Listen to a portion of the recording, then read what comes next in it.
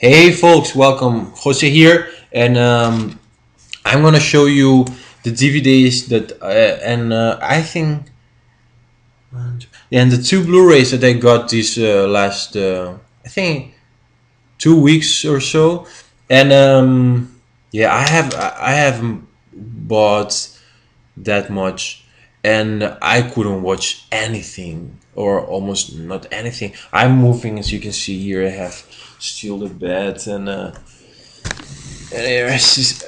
is packed in boxes. Um, yes, this is my first video. I come from Spain, but I live uh, right now in the Netherlands, in Holland, with my girlfriend. So yeah, I watched uh, the videos of, of you guys uh, on the YouTube, and I thought um, I just want to show you the movies that I'm getting at the moment and uh, share them with you. My movies, uh, the the DVDs and Blu-rays that I get, it's like it, it's not like a one genre or something. It's, it goes from horror to comedies to classics to cartoons, everything. Although I love horror movies, and so that's my main, yeah, my the, the largest part of my collection. But anyway, uh, on this update, there are not so many, but we're gonna start. Um, what's that actually on screen? Sorry. Uh, well, the fir- first, first I want to show, I want to show you one, ones that I just got, but I haven't been able to watch them yet. The first one is a John Carpenter's, Car- Carpenter's movie, and uh, I, I I believe it's a remake. Yeah, it's a remake. Yeah, this one, and it's the the Village of the Damned. I I remember this one likely I think I thought the I thought the Mark Hamill, Luke Skywalker was in here as the priest. I'm not sure about it, but I don't know if this was any good. It stars uh, Kirstie Alley from uh, Look Who's Talking, and uh, it stars also Christopher Reeve, Superman. So this might be good. I don't know. Tell me about it because this was just one buck. It was. I thought, what the hell? Okay, the next one that I I watched and um, wasn't any good. This was uh, this was a piece of shit, and it was uh, Lou Diamond Phillips in uh, Red Water.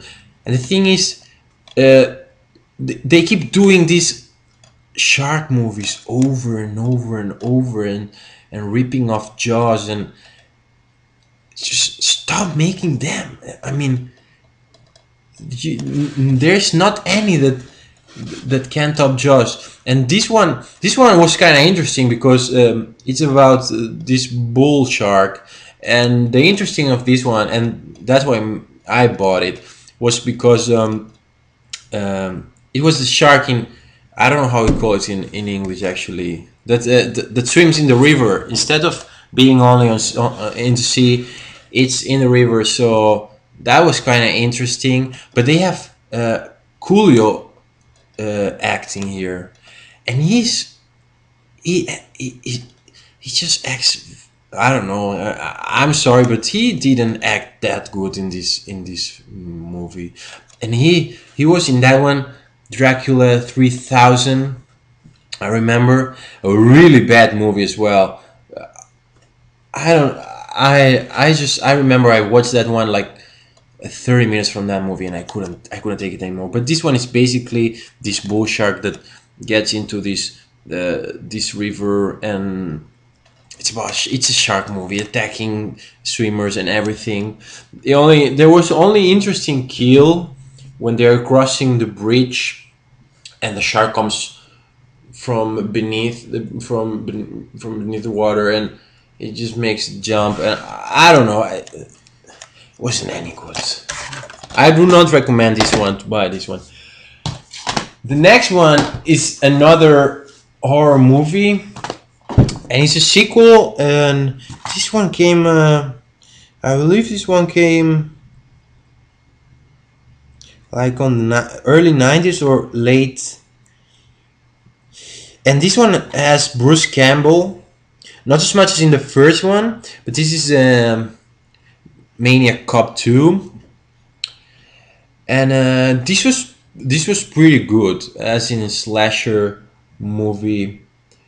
I mean, it's it's really a B movie, but um, it, and the first one is a lot better. It's this cop that is uh, just as as the title says, maniac cop and killing this cop crazy, killing everybody. And the cool thing is that you cannot see really his face. Actually, it's just of the form. There's a third part that uh, I I don't know. I didn't care about that one.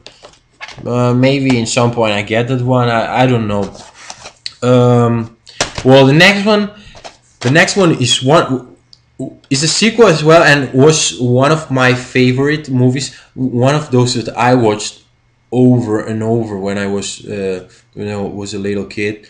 And um, it's uh, it's Ivan Reitman's Reitman's you you pronounce it yeah from Ghostbusters made uh, Beethoven second. This I mean uh, the first one was thousand times better than this one.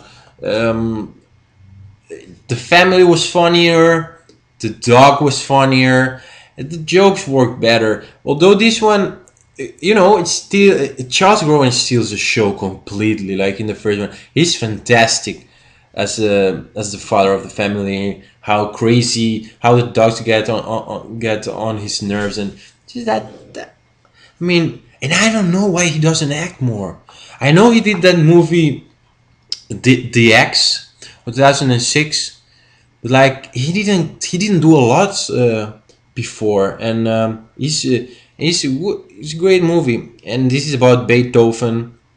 Um, that uh, he gets he gets a girlfriend, and um, they get puppies, and yeah, well, it's about the family taking care of the puppies, and um, and then there is like the owners of the of the girlfriend of Beethoven, they want to steal the puppies because they are worth a lot of money. So it's about them trying to get the girlfriend of Beethoven, and it's just a screwball comedy, and it's just very fun. It's one of those. If you grew up with these ones, you should watch this one.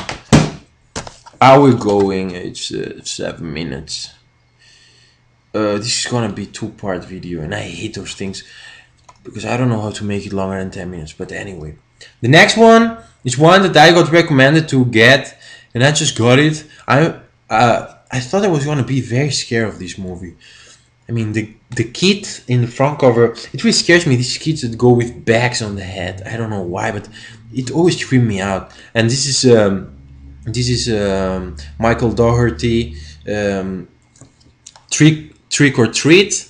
This is from 2007, and it's kind of like um, a little like Creepshow, Tales from the Crypt um, kind of movie with these mini stories on it. And the, the what I I mean, the mo- the movie takes a, a little comedic turn in the middle. So yeah, I was kind of disappointed because I didn't expect that.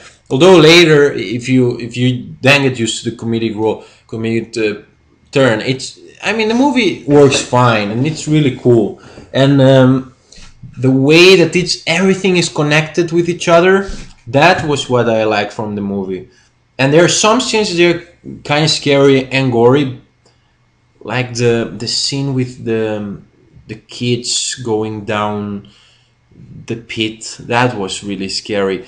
And it's just about this um, it's a halloween night and mini stories um, how not to break the rules of uh, halloween I I've never celebrated Halloween. I wish I would have uh, celebrated, uh, but um, in my home country we never did. It's not tradition. So, but I, you know, I've watched a lot of movies from from United from America, and uh, I find a great tradition Halloween. Well, um, I want to make the part two right now. Otherwise, this gets a little tight. So, if you want to continue checking, I have some more. So, if you want to continue checking feel free to do so. So see you in a moment.